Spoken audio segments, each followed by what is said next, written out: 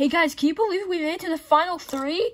Yeah, final three. I never, I never know I'd get this far. Yeah, this is gonna be awesome. Uh, what was that snapping sound? I see a wave of destruction right over. Whoa, what's happening? Wait, are we glitching out? We're we're gonna die. All right, limited contestants, you're all in line. Yep. Uh huh. Yep.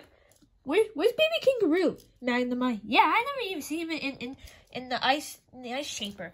Yeah, I actually have no idea. Wait, was that wave of destruction? Stop, stop, stop, stop! I, no, no! Oh, phew, stopped. You guys saw that wave of destruction? Yep. Well, it's time. It's time for. It's time for voting. Whoever whoever gets the most votes will be eliminated. So, so, Ladybug start.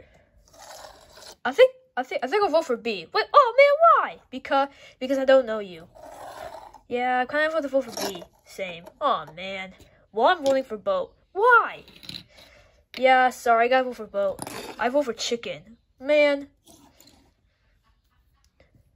Oh yeah, so does Robot Toy. I'll have to vote for Boat. Same. Sorry, Ladybug. Sorry, sorry, Bumblebee. Yep. Uh-huh. Okay, okay, yeah, you know what? Go. Oh, all right, all right. This is taking forever. Just, just, just vote. Just vote to see who, who, who do you want to be? Who, who, do you want to go in the finale, or who someone to choose eliminated? Dang, I never know everyone voted Boat. Man, so Boat, you've been you've been third place.